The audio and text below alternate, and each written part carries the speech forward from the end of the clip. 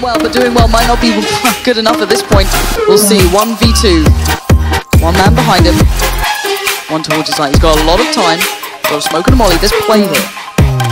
Great awareness by kioShiMa. He was spotted on the boost, drops down, and is very, very aware someone could be lurking out. But this is going to be tough. Henny has been so clutch. It doesn't look like anyone's really expecting this from the FaZe side of things. It's going to be down to timing, and it's not with kioShiMa. Henny finds himself into a one-on-one -on -one with Karrigan coming up mid. This would be a huge round for Immortals to win. Karrigan is not making a sound. Henny, you've got to know where Karrigan was playing, but will you expect him to be working this quickly? They don't see each other. Karrigan now, Molly to hand, Kit as well. Has it all, but Henny has the angle. This is the problem, and Henny strikes, but he gets the tag. It's not enough. Karrigan now mollies him out. This is dangerous. Oh my god, he's not on it. It's spreading though, and he goes oh down and strikes far enough. Henny